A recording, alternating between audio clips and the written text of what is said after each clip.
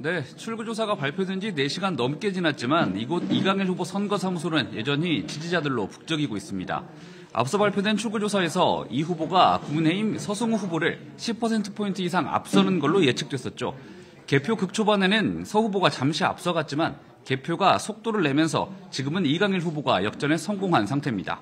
선관위 공식 집계에서는 2천여 표 차이를 보이고 있는데 개표소 참관인들을 통한 사무소 자체 집계 결과에서는 조금 더 격차가 벌어진 걸로 전해지고 있습니다.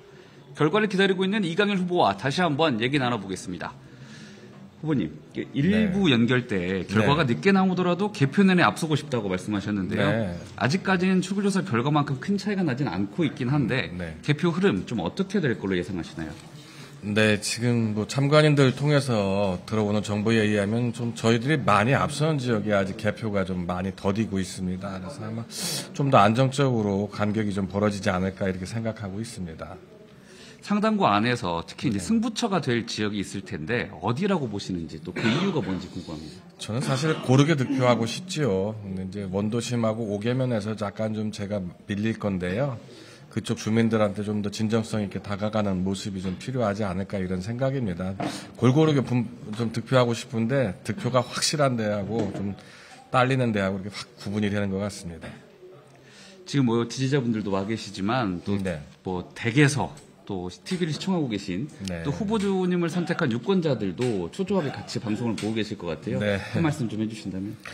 네, 뭐 초조하게 다들 지켜보실 거라고 보여집니다. 근데 기대와 소망이 다 모아지는 그런 과정 아니겠습니까? 담담하게 좀 지켜봐 주시고 또 얼마나 소망과 열의가 한꺼번에 응축돼서 이번에 표심으로 작용될 건지 끝까지 한번 같이 함께 지켜보시죠. 뭐. 이제 뭐 결과를 좀 더 기다려 보긴 해야겠지만 네. 보통 이제 선거에 당선이 되면 지역구에서 좀 얼굴 보기가 힘들다 뭐 이런 얘- 어, 그런 얘기들이 많이 나오거든요. 음. 네, 네. 후보님은 당선이 되신다면 얼마나 또 자주 지역을 찾으실 걸로 좀 약속하시겠어요? 지역에 있을 거기 때문에 저 얼굴을 못 보는 경우가 있으라는 건 좀 양해를 부탁드리고 싶습니다. 왜냐하면 국회의원은 거의 3분의 2 이상이 서울 국회 쪽에서 일을 하게 됩니다. 그래서 원외에서 선거운동할 때처럼 자주 얼굴을 뵙지 못하는 거는 일하기 위해서 일하고 있기 때문에 그런 거니까 좀 양해를 좀 부탁드리고요. 짬나는 시간마다 지역을 누비면서 여러분들의 의견을 다 청취해서 민원을 해결할 수 있도록 노력하겠습니다. 네, 말씀 여기까지 듣겠습니다. 네, 감사합니다. 지금까지 더불어민주당 이강일 후보 선거사무소에서 전해드렸습니다.